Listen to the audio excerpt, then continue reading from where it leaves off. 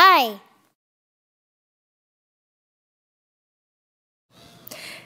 In AP World History, you, are, you will encounter many challenges but have a great learning experience. Here are some ways that you can be prepared for this class. Okay, so there's three tests that you have to, or three essays that you have to write for the for the AP exam. And the first one would be the document-based question, which is the DBQ.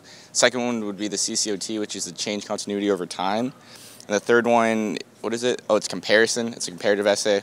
Which is you just compared the two societies or whatever it is. And uh, those are all the essays that you have to write for the AP exam.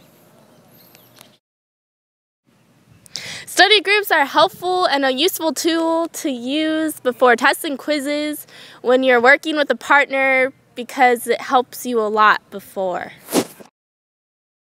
For the AP World History exam, you might want to keep your homeworks to study because it's a big test and you want to practice the essays a lot. It'll help for the AP History exam. The textbook is important for you to do your homework with and it helps you study for the quizzes and it helps you in your study groups.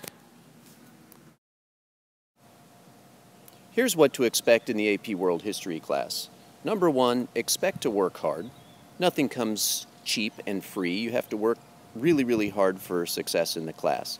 Number two, expect to have to do your homework. There's no, uh, no, I didn't do my homework in AP World History class. You must do it.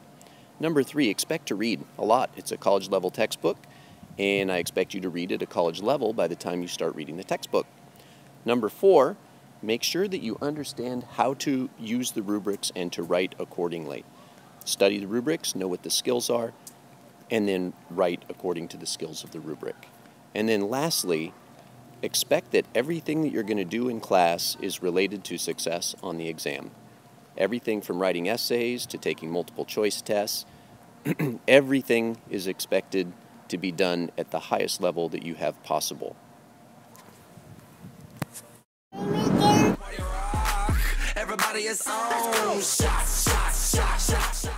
Bye.